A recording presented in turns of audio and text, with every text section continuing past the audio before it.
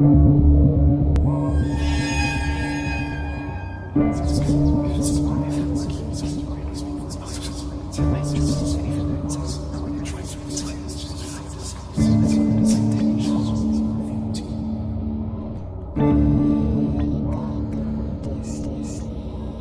θα γίνουμε πια στάχτη.